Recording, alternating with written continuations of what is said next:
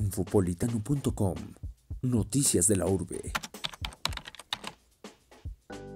Rosaura Olivera Carrasco, la cuarta regidora de Chalco y además única mujer trans en el Estado de México que es integrante de un ayuntamiento, extendió una invitación para toda la sociedad a participar en la marcha de la comunidad LGBT que se realizará este sábado en la localidad. Sábado 18 de noviembre se va a llevar a cabo la segunda marcha por la diversidad.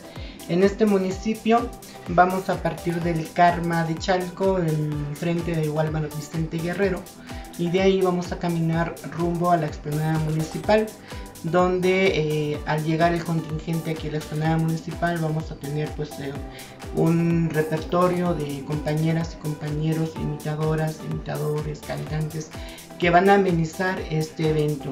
Rosy, como es llamada la regidora, informó que será este 18 de noviembre cuando los colectivos de la región de los volcanes saldrán desde el Walmart de Chalco a las 13 horas con dirección a la explanada municipal. Este evento pues es con motivo de un logro que se ha llevado a cabo aquí en el municipio de Chalco como un gobierno eh, transformador que crea políticas públicas incluyentes para todos los sectores de la sociedad, principalmente con la diversidad.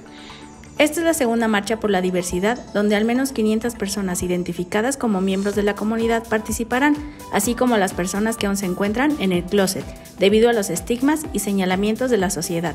Existía, te digo, el tema del estigma, el tema, el tema de la discriminación, el señalamiento, pero yo personalmente puedo decirte que hay un número bastante considerable, aproximadamente 500 eh, compañeros que son abiertamente de la diversidad en este municipio y sé que lo han hecho como que muy eh, en el closet por el miedo al que dirán.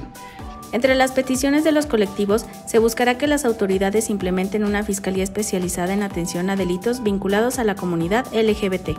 Sí, de hecho dentro del lema que estamos manejando nosotros por el derecho, el derecho a la justicia es que solicitamos que se cree una fiscalía especializada en atención a delitos vinculados a la comunidad LGBTI. No existe.